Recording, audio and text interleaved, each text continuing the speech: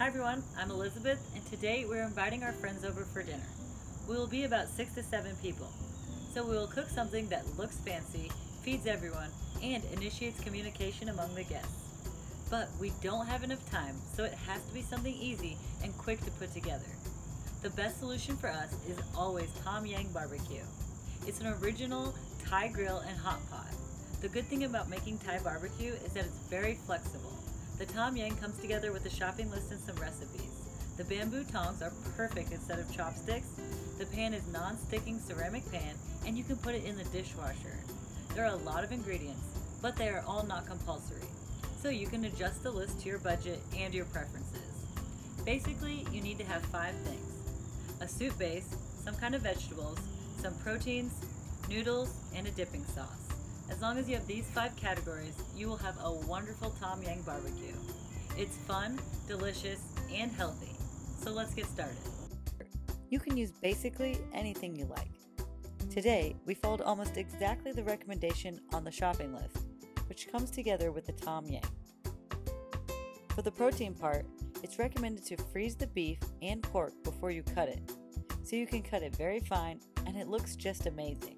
Tom Yang recommends pork neck and ribeye because it has a little more fat than the filet, so it tastes more juicy and it's cheaper too.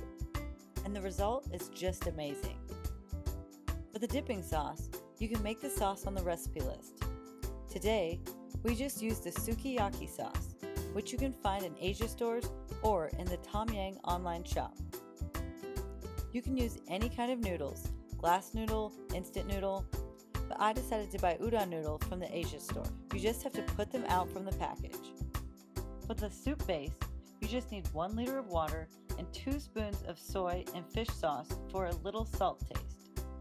The great thing about Tom Yang is the real soup aroma is created by itself.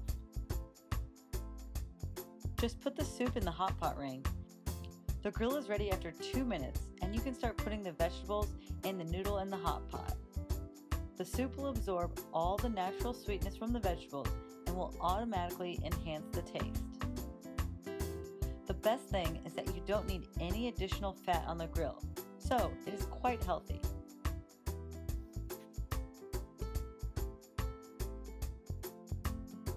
Fish, meat, or even vegetable lovers will have an outstanding experience. The juices from the meat will run into the hot pot and will create a unique and outstanding aroma. There's no burning on the grill plate, so we don't have the burning smell in the house. The soup is boiling gently, so you don't overcook it and keep all the valuable vitamins in it.